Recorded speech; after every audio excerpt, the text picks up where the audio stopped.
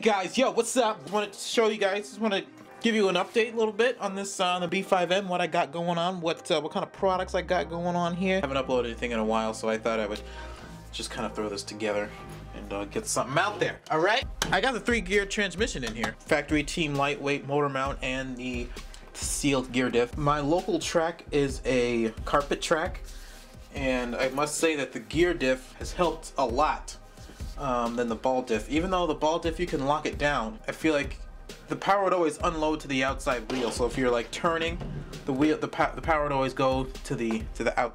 I guess that'd be the inside. Yeah, the inside wheel.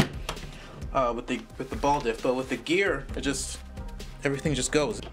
I have uh, it's sealed, so you can load it up with shock shock oil. I guess you could do shock oil. But diff oil, I have 5,000 in there. The 3 gear just makes it lighter as well. You can tell just when you pick up the car that it's lighter. But even when it drives, you can tell it's much quicker. Quicker on the acceleration and, and on the turns. So yeah, so so that's what I got going on. I got 3 gear, 3 gear transmission and the gear diff. And then I put on this uh, J Concepts uh, finisher front wing. I have I have two sizes. I have the small one and the big guy. I don't know the bigger one is. But the bigger one's obviously a little bit bigger than this than the small one. Let's see if I can focus. Can I focus on that? There we go, yeah. Um, but yeah, my opinion on the front wing is that you don't always need it. I've seen some uh, some pros, you know, depending on the track that they do, they take it on and off.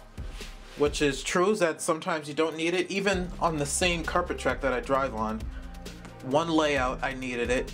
I could use it and then another layout I did. So I would say if you want the, the front wing is great. You know, if you want to if you want to experiment with it, get some uh, get some more downforce on the front. I can't say that if it helps if it helps or doesn't help with wheelies, uh, but it does help especially with the turning, giving the front end some more traction for a track that you need more traction with. Also with this wing, you need a uh, body that doesn't have a lot of downforce. This body doesn't have a lot of downforce, but the J Concepts finisher does. So you don't feel the the front wing working too much because there's so much downforce already on the whole car. So that's what I find on this body and the Warrior body, and probably the Proline Phantom body. You would, um, it's easier to adjust the downforce where you want it than using the, the finisher. So I think that's it. Uh, thanks for watching this video, and next time when I uh, when I got something else going on, cooking up down here, cooking up in the cook. What? What? Uh, wait, I need to get it. Okay, sorry, that was embarrassing.